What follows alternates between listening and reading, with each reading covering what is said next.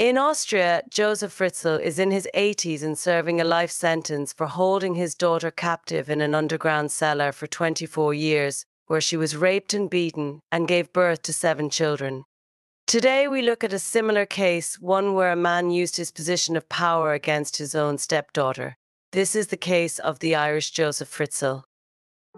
Mary Manning was born in 1964 in North East Ireland Little Mary would describe her childhood as charmed. Along with her brother Ricky, she led a carefree existence, and though they didn't realize it at the time, they were lucky children. Mary's father was a successful businessman, and her mother Mona was seen as a glamorous woman who was full of life. However, this happy lifestyle would be short lived for Mary. When her father was diagnosed with cancer and quickly passed away, Mary was only nine years old, Devastated by the loss of her father, things quickly went from bad to worse when Mary's mother brought home her new husband, Sean McDarby, with whom she had been having an affair with when Mary's father was alive. Neither Mary nor Ricky knew anything about McDarby's existence until he arrived into their home as their stepfather, but he set about determining the dynamic immediately. He methodically set about humiliating and belittling Ricky, but McDarby was very different with the 10 year old Mary, and he started grooming her from the minute he met her. McDarby spoiled Mary, made her feel uncomfortable with over the top flattery, and made somewhat of a pet of her. Mary knew deep in her gut that it was wrong, but she didn't know why and how until he raped her.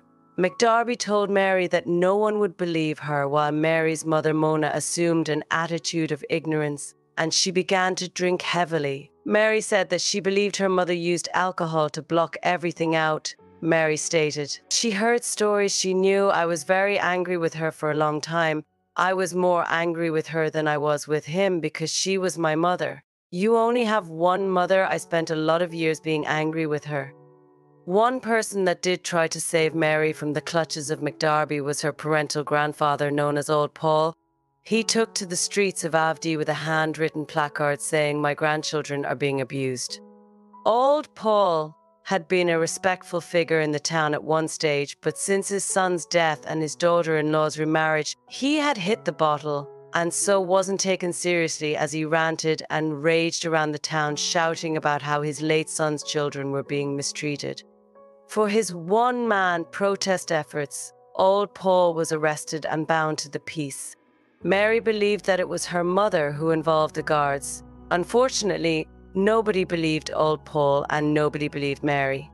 Old Paul was the only person who ever tried to help Mary and her younger brother Ricky, and he never got to speak to his grandchildren again after the day with the placard. He worked as a lollipop man in the town, but Mary had to walk past him silently, scared even to look at him for fear of how she'd be punished at home.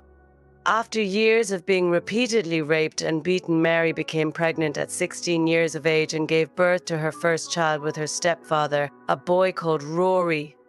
Her mother berated her for getting pregnant, but no one asked about the father, and McDarby's name did not go on the birth certificate. Mary can't remember if her mother bothered to ask who the father was when she even became pregnant for a second time. Mary miscarried that baby at home, and evil McDarby forced Mary to put the deceased baby in a bag, and he buried the child in a Carlow field, where they remain today. When Mary became pregnant for a third time, McDarby took her away from Ardee and set up home in a house in the middle class North Dublin suburb of Castleknock. Her third baby was a daughter she named Ashley, and four months after Ashley was born, Mary was pregnant again. This time she would have another girl she named Iseult. She barely saw a doctor in any of her pregnancies, as the priority wasn't her well being or that of the children, but instead keeping McDarby's role in them a secret. Mary said, I was dropped off to give birth at different hospitals, got very little antenatal care at all, so nobody would ask any questions. Poor, tormented Mary, who lived in such fear that she slept with a hammer under her pillow, had no communication with the outside world and was given no money. Although McDarby didn't live with Mary and the children, she couldn't escape or try to get help as her tormentor could turn up at any time, which he often did, beating and raping her to remind her who was the boss. McDarby broke her mind and spirit to the point that she believed she was to blame, she was at fault, and she didn't deserve any better. Mary was skilled at surviving the ongoing abuse and agony, but the pregnancy and birth of her fourth child, Andrew, nearly broke her. She tried to leave McDarby after he was born, but got beaten for her efforts. However, when McDarby took the family to Sligo for a holiday a year later, Mary looked out across the Atlantic Ocean and made a big decision. Mary had been secretly saving money, so she bought a ticket to Boston and left Ireland and her life and children behind. Boston was not the American dream for Mary, crushed by guilt and inability to tell anyone the truth about why she was there or what she had left behind. She slipped into a swamp of drink and drugs. After several months in the States, she phoned home to be told that three of her children had been taken into care. Their father had not taken responsibility in Mary's absence, and Rory was with Mary's mother. Mary contacted social workers, and in the belief that she wasn't ever coming back, she wrote letters saying that her daughters could be fostered and that Andrew could be adopted. She would never see Andrew again. Mary, however, did go back to Ireland. The guilt was too much. At Dublin Airport, rather than being met by a social worker, McDarby welcomed her home with a beating and then raped her. She had become his again, but the children were not. When Mary approached social workers to reclaim her children, they explained that she had abandoned them and she would have to prove that she was a fit mother in order to get them back. Mary told them that McDarby was her stepfather and that he had been abusing her since the age of 10, and they told her that this was unbelievable. Mary decided that she needed to free herself and children from McDarby. She began to find her fight. She contacted the Rape Crisis Centre and began to have counselling. Mary became pregnant yet again and gave birth to her daughter Megan. Her other daughters were returned from care and she began to stake out a life for them, strengthened by the fact that her secret was increasingly coming out into the open. When Mary's counselor invited her to a dinner party, she met Carl. They slowly struck up a friendship and then a romantic relationship.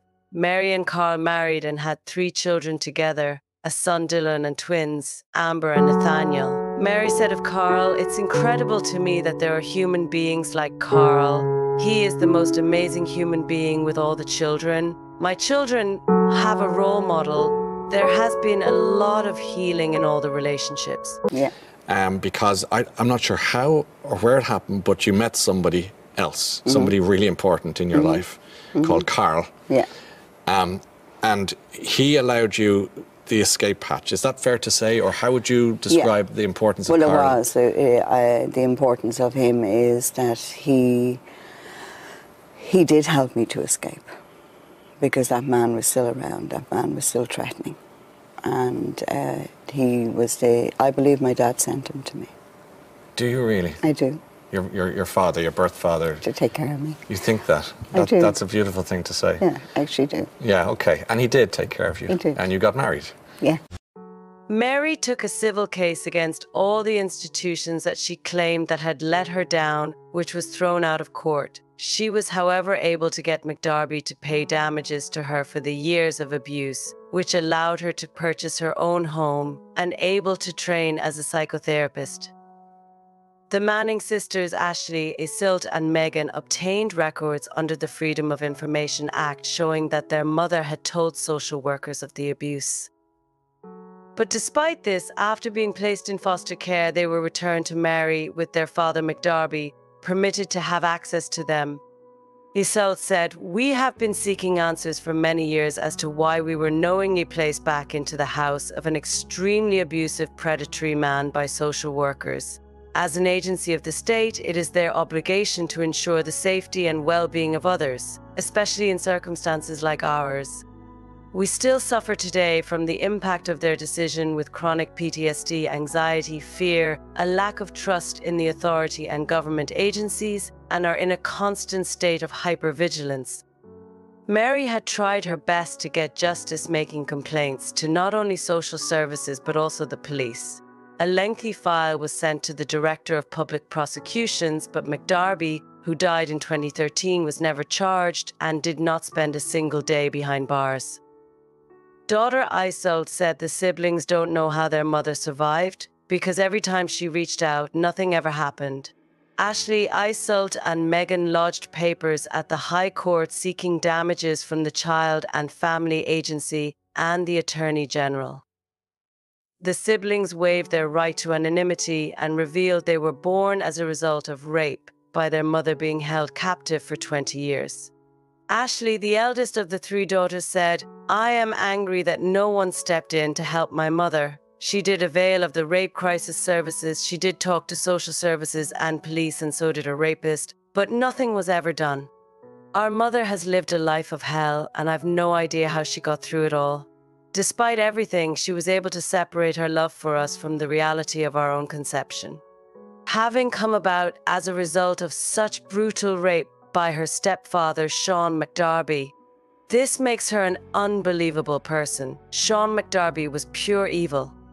The Manning sisters do not refer to Sean McDarby as their dad. Instead, they call him the Irish Josef Fritzl.